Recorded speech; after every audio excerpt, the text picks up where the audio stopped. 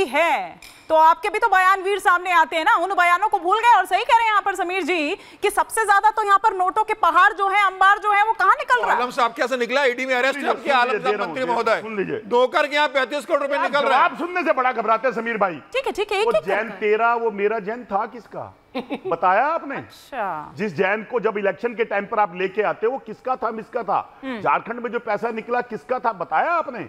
देश की जनता को इलेक्शन पे आके भ्रमित मत करा करिए। अरे अगर सुन लीजिए आपके मंत्री का मेरे बात। बोलिएगा अगर आप ये कहते हैं जेल में आपके। एक सक्षम प्रधानमंत्री एक सक्षम सरकार के बाद देश में काला धन है तो गलती आपकी है।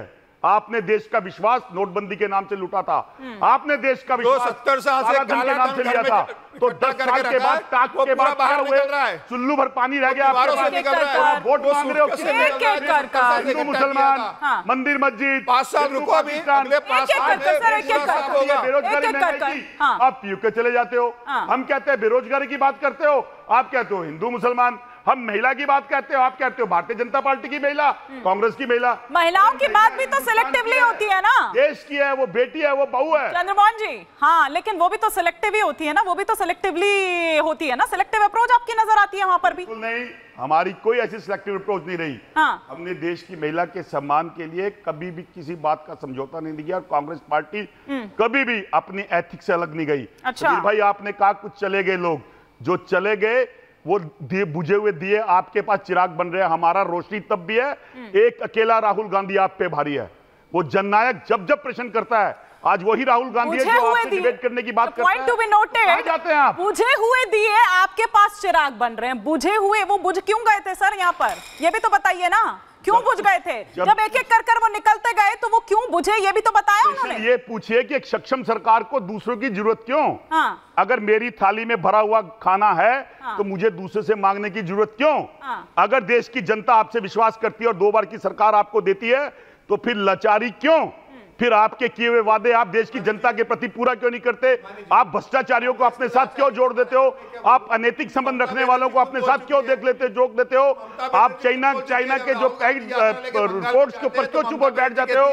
राहुल गांधी प्रवासी पक्षी है ठीक है। और ममता बनर्जी कहती है चालीस सीटें भी कांग्रेस को हाँ, मिलेगी। हाँ। तो आपके गठबंधन एक एक कर कर एक एक कर उठा के उड़ा कर एक एक कर कर एक एक कर कर हाँ चार सौ अट्ठाईस सीटों पर लगभग मतदान हो चुका है। देश के प्रधानमंत्री की भाषा आप देख लीजिए कि वो क्या क्या बोल चुके हैं अभी तक के डेट अच्छा। भारत पाकिस्तान भी कर लिए महिलाओं का मंगलसूत्र भी बिकवा दिए वो हिंदू मुसलमान भी कर लिए मंदिर भी कर लिए भैंस भी खुलवा लिए वो जितनी करनी थी वो कर लिए लेकिन मुद्दे की बात उन्होंने नहीं की। और अभी भी लगातार वो कोशिश यही कर रहे हैं।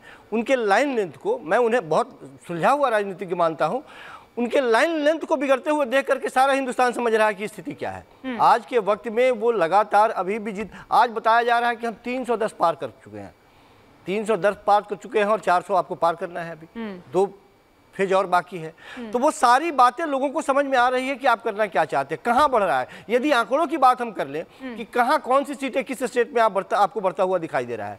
वो बताएँ कि यहाँ बढ़ रहे हैं हम बता रहे हैं कि कहाँ आप घटते हुए दिखाई दे रहे हैं। क्यों आप वापस जा रहे हैं बाहर जा रहे हैं हम आपको बताएँगे। इस पे वो बात आप कहाँ बढ़ रहे हो ये बताओ ना हमारे घटने की चिंता क्यों अरे यूपी की बात कर रहे हैं। तो बता दो कि आपकी पैरों के नीचे से ज़मीन खसक जाएगी। बता दो कि हमारी दिल्ली में पैरों के नीचे से संजीव जी संजीव जी एक छत्र राज कायम था अगर मैं छठे चरण की जब यहाँ पर बात कर रही हूँ। इसलिए पहला सवाल ही मैंने चंद्रमोहन जी से पूछा कि भैया आप कहाँ हैं? और आप तीनों जो लाइन से एक साथ बैठे हैं इसीलिए इसीलिए कहा कि जमीनें खिसक जाएँगी नीचे से। ऐसे क्या? में कह रहा तो हूँ। जानना चाह रही हूँ कि में भी मैं कह रहा हूँ कि ज़मीन कैसे सर? क्योंकि 10 सीटें सुनिए ना 10 सीटें आपकी बीजेपी के पास है और चार सीटें उसमें से बसपा के मतलब सपा भी कहीं नहीं है। बिहार में सपा भी कहीं नहीं बिहार है। में क्या स्थिति है? बिहार में इतनी खसकी हुई है कि अमेठी से लड़ने की नहीं से हो। निगाहें नहीं मिला पा रहे हैं रायबरेली से कहीं आखिरी बिहार में चुनाव जाके में देखिए। कर रहे हो।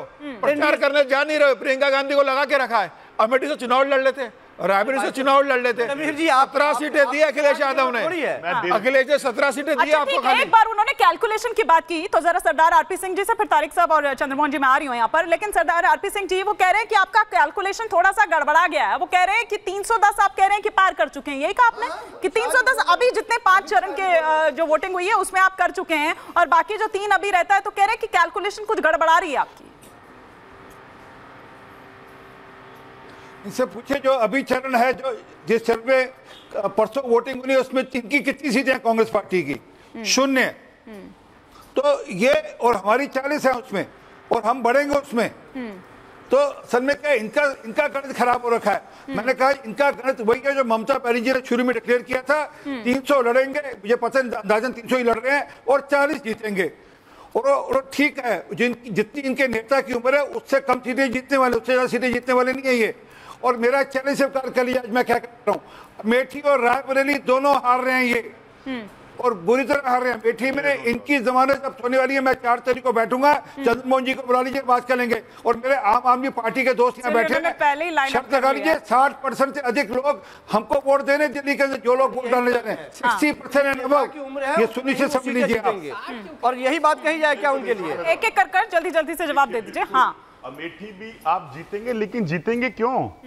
क्योंकि आपको अमेठी के अंदर वो कैंडिडेट कांग्रेस ने दिया है जो कैंडिडेट जनमानस से जुड़ा हुआ था। और रायबरेली भी आप जीतेंगे क्यों? क्योंकि आपके पास कैंडिडेट था नहीं। वहाँ राहुल गांधी लड़ रहे हैं। तो सपना मत दिखिए जो टूट जाए। और जिस ज़ीरो की बात आप कर रहे हैं ना वो 2014 और 19 से रायबरेली हैं। क्यों गए? अमेठी और आ उसके जाते बाद भी आपके 40 सांसद और अकेला राहुल गांधी। जब जब आपसे रायबरेली क्यों गए? जब आपसे पेशेंट तो पूछते हैं। तो जब जब तेजस्वी आपसे पेशेंट पूछता है तो देश के प्रधानमंत्री पीछे को छुप जाते हैं। जब देश की जनता जानती है कि आम को चूस के खाया जाता है और काट के नहीं खाया जाता पिचहत्तर परसेंट जनता चूस के खाती है तो ऐसे प्रश्नों का जवाब जब भाजपा के नेता देंगे तो देश की जनता आज समझ गई है हाँ, कि मुझे ना तो हिंदू पे जाना है ना मुसलमान पे जाना है। हाँ। मुझे बेरोजगारी महँगाई और उन नीतियों पे जाना है कांग्रेस की उन पाँच गारंटियों पे जाना है जो इंडिया गठबंधन की है जो न्याय भी देगी जो रोज़गार भी देगी जो आर्थिक शक्ति भी देगी। इंडिया गठबंधन की है पक्का? आपके साथ ही बैठे तारिक साहब पूछ लीजिए। इंडिया गठबंधन पक्का। क्योंकि वो तो अपना पीडीए पीडीए गा रहे हैं। वो तो अपना पीडीए पीडीए गा रहे हैं। तारिक साहब। क्विक फाइनल क्योंकि आप इसे ले रही हूँ मैं। फाइनल कमेंट है। हाँ। ये ना पीडीए कुछ नहीं है। पीडीए एक आइडिया है। इनसे। देखिए पीडीए वो लोग हैं। उसके। पीडीए वो लोग हैं जिनका आरक्षण आप खाना चाहते हो नाश्ते में ऐसे नाश्ते की तरह। उसको अच्छा। खा लेना चाहते हो। अच्छा। आपके चैनल पे टाइम होगा पंद्रह उदाहरण दूँगा कहाँ चारा खाया है। खाया है बताओ बताओ आप टाइम दीजिए बताता हूँ। हाँ, सुनिए जेल में भी गए अब सुनिए अब सुनिए अब सुनिए अब दादा साहब ने चारा खा के 23 जेल मई-। अब सुनिए दिस नॉट फेयर आप टाइम दीजिए अगर सुनना चाहते हैं कहाँ खाया है। 23 मई 2023 को नोटिफिकेशन होता है ग्राम विकास अधिकारी का उत्तर प्रदेश में। पद होते हैं चौदह सौ अड़सठ। खुला चैलेंज है सर्च इट ऑन इंटरनेट अभी सर्च करिए। चौदह सौ अड़सठ पद का 27 परसेंट ओबीसी का कितनी सीटें बनी निकालिए? 300 कुछ सीटें। ओबीसी को 139 सीट दी थी। क्या हुआ? खाया नहीं खाया और मैं जो कह रहा हूँ मैं यहीं बैठा हूँ मुझे जाने मानी जी, OBC कौन है? एक सेकंड रुकिए एक सेकंड रुकिए एक सेकंड रुकिए बीच में नहीं। दिस इज़ नॉट फेयर हाँ। Ma'am please. This is not fair लेकिन मैं कह रहा हूँ मुझे- मैंने जो बोला है इसको सर्च करिए हाँ। मई 2023 का ठीक है एक काम करते हैं अब जो आप कह रहे हैं क्योंकि सर देखिए फिर अब अब इस पर बहस लंबी चलेगी क्योंकि वो काउंटर रिएक्शन इस पर देंगे बिल्कुल ठीक है सुनिए सर सुनिए सुनिए लेकिन समय सम, समय समाप्ति की घोषणा हो गई। नहीं, चूँकि अब समय समाप्ति की घोषणा हो गई है, लेकिन इस पर, क्योंकि आपने अब एक ऐसी तान छेड़ दी है कि सर, अभी इस पर बहस और लंबी हो सकती है। तो आज के लिए फ़िलहाल इतना ही। बहुत शुक्रिया आप सभी मेहमानों का हमारे साथ जुड़ने के लिए। यहाँ रुकेंगे एक छोटे से ब्रेक के लिए।